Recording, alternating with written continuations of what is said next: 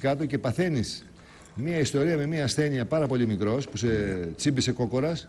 Ναι, ρε Γαμώτη. Αν δεν είχα πάθει και αυτή τη βλάβη, θα ήμουν επικίνδυνος. Ευτυχώς που ο Θεός με τιμώρησε. Πώς γίνεται με τον κόκορα στη συμπίση και κοντεύει να πεθάνεις; Ε, τα Πες την πτηνά, ιστορία. τα πτηνά μεταφέρουν ιού. Ε, το, το, το ξόπλασμα το έχετε διαβάσει; Ναι, αλλά σε Ε; τσίμπησε κόκορας μικρό. Και τι έπαθες; Και έπαθε αυτή η τοξοπλάσμωση. Η οποία, Η πες οποία- μας ελληνικά, απλά. Τοξοπλάσμωση είναι ένας ιός που σου χτυπάει στο νευρικό σύστημα και σε αφήνει παράλυτος. Εγώ λοιπόν δύο μισή χρονών ήμουν παράλυτο. Και μετά άρχισε ο Γοργ- Γολγοθάς.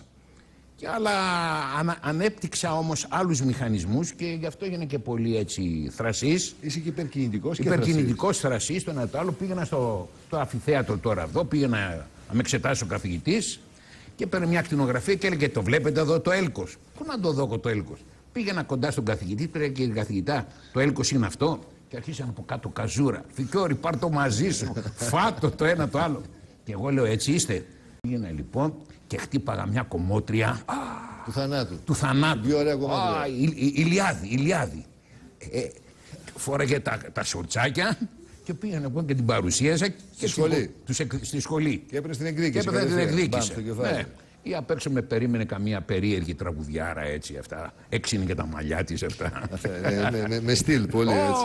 Ω, φοβερή σου λέω. Οπότε παθαίνανε οι φοιτητέ κολούμπρα. Βέβαια και έτσι τους Διότι αυτό που ήθελα εκδικούμουν. να σε ρωτήσω, να εξηγήσω από την αρχή, είναι το ένα έπαθε αυτό.